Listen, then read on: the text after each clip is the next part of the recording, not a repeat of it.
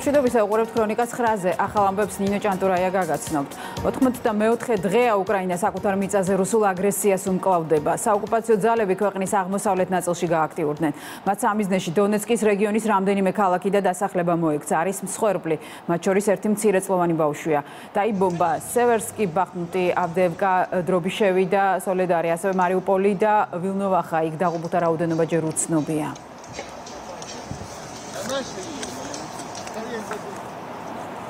მარიუპოლის მეტალურგიული ქარხნის ტერიტორიიდან ევაკუირებულ უკრაინელ მებრძოლებს, რომელთაგან ბევრი აზოვის ბატალიონის წევრია, რუსეთის საგამოძიებო კომიტეტი დაკითხავს. ინფორმაციას რუსული მედია ავრცელებს. მათივე ცნობით, უკრაინელი მებრძოლების დაკითხვა უკრაინის რეჟიმის დანაშაულთან დაკავშირებული სისხლის სამართლის საქმეების რუსული გამოძიების ფარგლებში ჩატარდება. აზოვსტალიდან გაყვანილი უკრაინელი ჯარისკაცები დონეცკის მახლობლად რუსეთის მიერ კონტროლირებად სოფელ ოლენივკაში არიან. სააგენტო როიტერის ცნობით, 7 ავტობუსის სასჯელ აღსრულების ყოფილ კოლონიაში ჩავიდა. აზოვის ლეგიონის დამფუძნებელმა საზოგადოებას მოუწოდა მარიუპოლის ოპერაციის შეფასებისა და კრიტიკისგან თავი შეიკავონ. ანდრეი ბილეცკი ტელეგრამ არხის საშუალებით განაცხადა, რომ აზოვსტალის დამცველებთან კავშირი აქვს და ითხოვს პოლკის ევაკუაციის მსვლელობის კომენტირებას თავი აარიდონ. მისივე თქმით, 2-3 დღეში თავად გარნიზონი განაცხადებს ოპერაციის მიმდინარეობის შესახებ. 82 დღე ისინი ებრძოდნენ წარმოუდგენელ პირობებში. 70-ზე მეტი დღის განმავლობაში აკავებდნენ მტერს, სრულ ალყაში მყოფები და მტრის უდიდესი უპირატესობის, საშინელი საავიაციო სახომალდე, артиლერიისა და სხვა დაბომბვის პირობებში. მათ ჩაიდინეს ისეთი რამ, რაც უსიტყვოდ შევა სამხედრო სახელმძღვანელოების ისტორიაში. ახლა მთავარი ამოცანა ამ ადამიანების გადარჩენაა. ისინი ჯერ კიდევ დასჭირდებიან, რა თქმა უნდა, უკრაინას. ახლა მთავარია არ ვავნოთ საკუთარი ვარაუდებით მებრძოლთა გადარჩენა. გადარჩენას. ამიტომ უდიდესი თხოვნა მაქვს ყველასთან, ვისაც სურს აზრის გაზიარება, თუ რა ხდება აზოვსტალში, ან მათთან, ვისაც რაღაც საიდუმლოებები აქვს და სურს მთელს მსოფლიოს გაუზიაროს. დაიტოვეთ ისინი თქვენთვის. ფიქრობ, ორ-სამ დღეში თავად გარნიზონი დაადასტურებს, როგორ მიმდინარეობდა ყველაფერი. ამჟამად შემიძლია ვთქვა, რომ პოლკი კავშირზეა. მე ვიცი რა ხდება იქ, გარნიზონი ადგილზეა, იარაღით ხელში. ყველაფერი კარგად იქნება, დიდება უკრაინას. აზოვსტალიდან სამხედროების გადარჩენის ოპერაცია და მოლაპარაკების პროცესის პერსპექტივა უკრაინის პრეზიდენტმა ფრანკ ოლეგასთან განიხილა. სატელეფონო საუბრისას გადაწყდა უკრაინისთვის საწვავის მიწოდება და საფრანგეთისგან თავდაცვითი მხარდაჭერა აღნიშნა ვოლოდიმირ ზელენსკიმ. ღამით გავრცელებული ვიდეო მიმართვისას უკრაინის პრეზიდენტმა ომის 93 დღე შეაჯამა. წინააღმდეგობის 93 დღე რუსეთის მხრიდან სერიოზული დარტყმებით დაიწყო. სარაკეტო იერიში განხორციელდა ლვოვზე, სუმისა და ჩერნოგოვის ოლქებზე. საავიაციო ცეცხლის ქვეშ მოექცა ლუგანსკის ოლქი. ამით რუსული არმია უკრაინის აღმოსავლეთ და სამხრეთ ტერიტორიებზე განცდილი მარცხის კომპენსირებას ცდილობს, მაგრამ ეს უშედეგო იქნება. ისინი ვერ მოიგებენ, მით უმეტეს რომ ჩვენი ძალები უფრო ძლიერდებიან. ვოლოდიმირ ზელენსკიმ სიტყვით კანის ფესტივალის გახსნაზე დამსრე საზოგადოებასაც მიმართა. უკრაინის პრეზიდენტმა ჩარლი ჩაპლინის ფილმი დიდი დიქტატორი გაიხსენა და კინორეჟისორებს მოუწოდა. ომის დროს უკმად არიდნენ ზელენსკის სიტყვებს ფერი კანის კინოფესტივალზე ოვაციები მოყვა მეოცე საუკუნის ყველაზე სასტიკ დიქტატორებს უყვარდათ კინო. დარწმუნებული ვარ დიქტატორი წააგებს. დროთა განმავლობაში სიძულვილი გაივლის და დიქტატურა მოკვდება. ჩვენ გვჭირდება ახალი ჩაპლინი, რომ დღეს დავამტკიცოთ, კინო არ არის მდუმარე. ჩვენ არ გვაქვს სხვა არჩევანი გარდა იმისა, რომ ვიბრძოლოთ ჩვენი თავისუფლებისთვის. დიდება უკრაინას, ჩვენ ამ ომში გავიმარჯვებთ. ამერიკის შეერთებული შტატების სახელმწიფო დეპარტამენტი ახალ პროგრამას იწყებს, რომელიც უკრაინაში რუსეთის მიერ ჩადენილი ომის დანაშაულებისა და სხვა სისასტიკეთა შესახებ მტკიცებულებების დოკუმენტირებაზე და ანალიზს გულისხმობს. კონფლიქტის დაკვირვების პროგრამის ფარგლებში სახელმწიფო დეპარტამენტი სატელიტურ სურათებსა და სოციალურ მედიაში გავრცელებულ ინფორმაციას შეაგროვებს. რათა რუსეთს ომის დანაშაულებზე პასუხისმგებლობა დააკისროს. სახელმწიფო დეპარტამენტი შექმნის ონლაინ პლატფორმასაც, რომელიც საჯაროდ გააზიარებს შეგროვებულ ინფორმაციას, რაც შეერთებულ შტატებს რუსეთის მთავრობის მხრიდან დეзинფორმაციის ნებისმიერი მცდელობის უკუგდებაში დაეხმარება.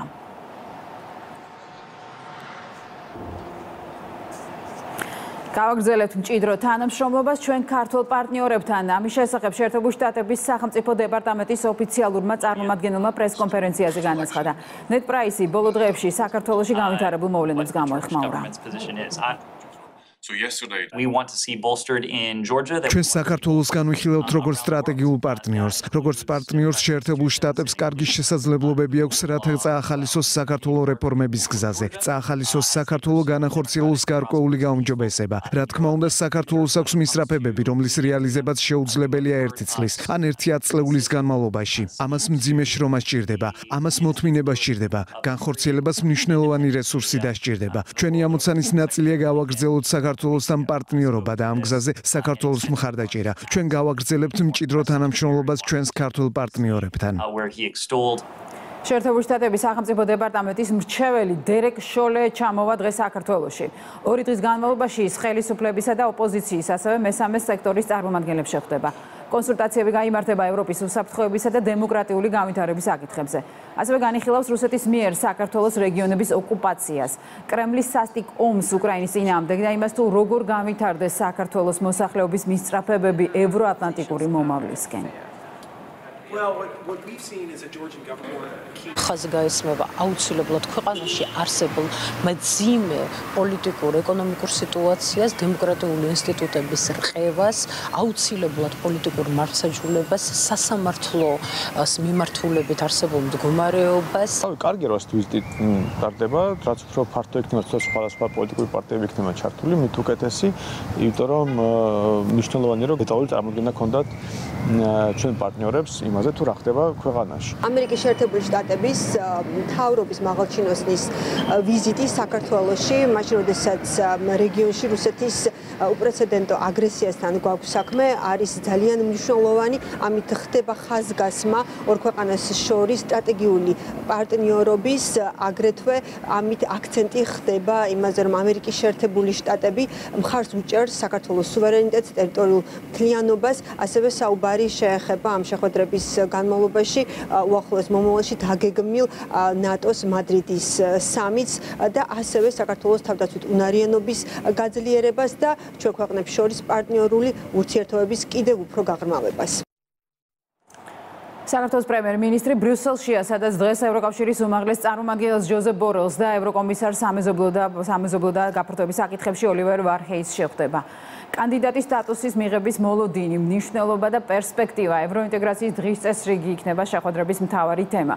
საქართველოს მთავრობის მეტაური კვეს შეხვდა ევროპული საბჭოს და ევროპარლამენტის პრეზიდენტებს, ევროპულ პარტნიორებთან აქცენტი ტრიოს შესახებ გადაწყვეტილების ერთდროულად მიღების მნიშვნელობაზე კეთდება. რა თქმა უნდა საქართველოს პრემიერ-მინისტრს აქვს მთავარი გზავნილები. ეს გზავნილები არის როგორც ევროპული საბჭოს პრეზიდენტის და პრეზიდენტისთვის და ევროპულ პარლამენტის ევროპარლამენტის პრეზიდენტის მიმართულებით დარწმუნებული ვარ რომ საქართველოს პრემიერ-მინისტრს უფრო მეტად ტექნიკური ხასიათის შეხვედრა ექნება ტექნიკური საკითხები გვექნება განხილვაში დღეს ვეირაკლი ღარიბაშვილი ნატოს გენერალურ მდივანს შეხვდება. საქართველოს ნატო პარტნიორებთან ერთად მადრიდის ივნისის სამიტისთვის ემზადება. საქართველოს პრემიერ-მინისტრი ქვეყნის თავარ პრიორიტეტზე ნატოში გაწევრიანებაზე გააკეთებს აქცენტს, ასევე რუსეთიდან მომავალი საფრთხის ფონზე მხარდაჭერის გაზრდის აუცილებლობაზე.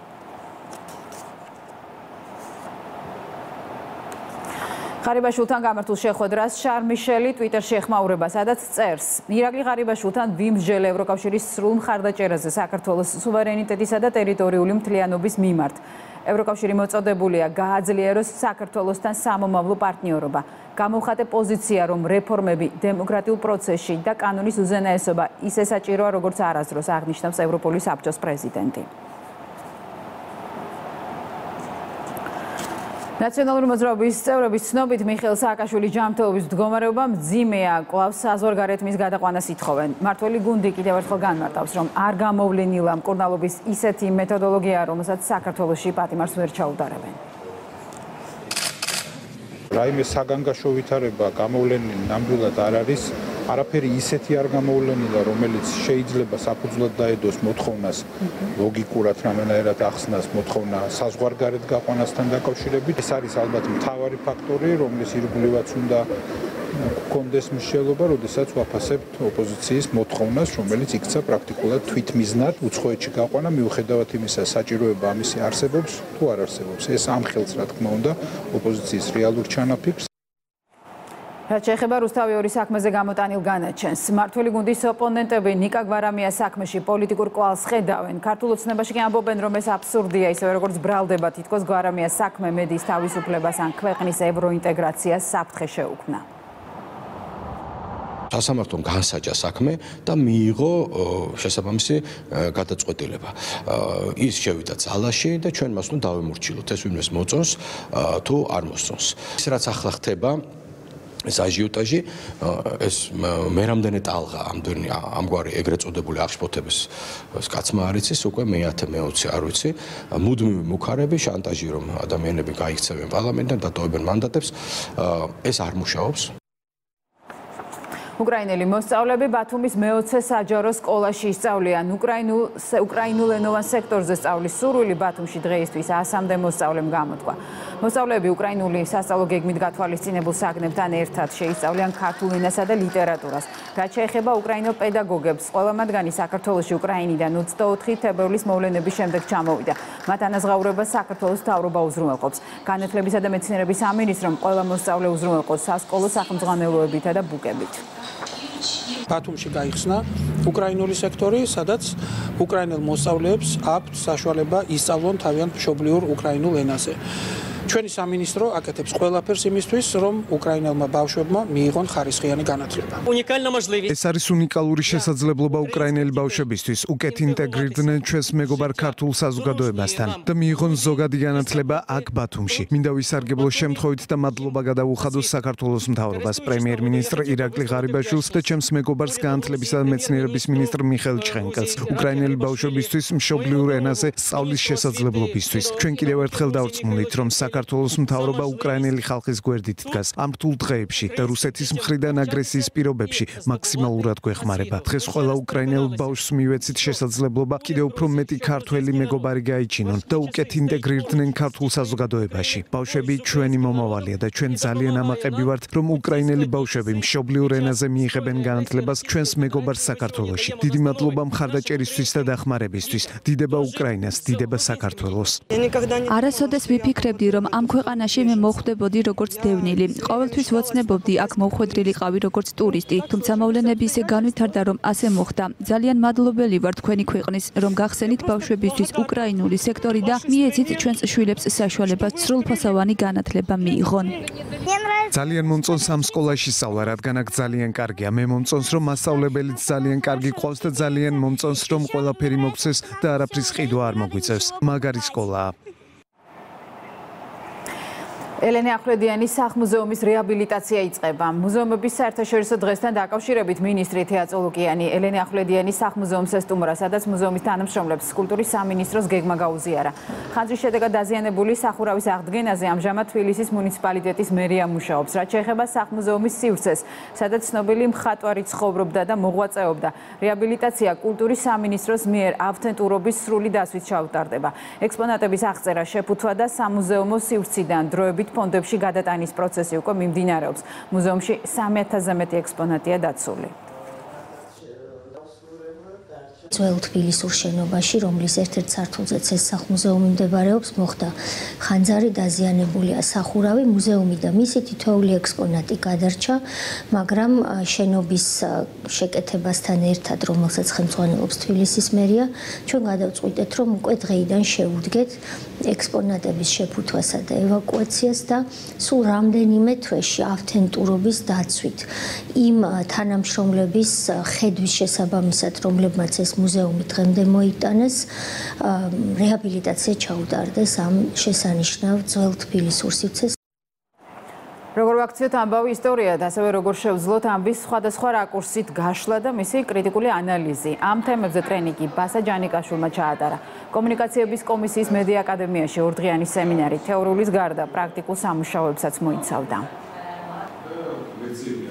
ჩვენი ტრენინგი, რომელიც ეხება ამბის მოყოლის დრამატურგიას და რაღაცნაირად აი დეკონსტრუქციას, რისგან შედგება ამბავი, ხო, ვინ არიან თავარი მოქმედი პირები, მეორე ხარისხოვანი მოქმედი პირები, რა არის პერსონაჟის მიზანი და ასე შემდეგ, ძალიან ეხმარება ჟურნალისტებს იმაში, რომ გაიაზრონ, როგორ მოყვნენ თავად ეს ამბავი. როგორია თხრობის ტექნიკა, როგორ უნდა გამოვყოთ თავარი გმირი ვინ არის, ვის შესახებ ყვებით ამბავს, როგორ უნდა გავაკეთოთ ისე, რომ იყოთ ობიექტურები და ეს სიტყვა უბრალოდ სიტყვა კი არ არის ობიექტურები, არამედ ტექნიკურად შესაძლებელია ამის გაკეთება. აი ეს ამ ორ დღეში ამაზე ვისაუბრეთ. ბასამ აგვიხსნა თუ როგორ ვიპოვოთ ამბავში უფრო მარტივად მთავარი გმირი და როგორ გავხადოთ ჩვენი სიუჟეტები უფრო საინტერესო ჩვენი მაყურებლებისთვის.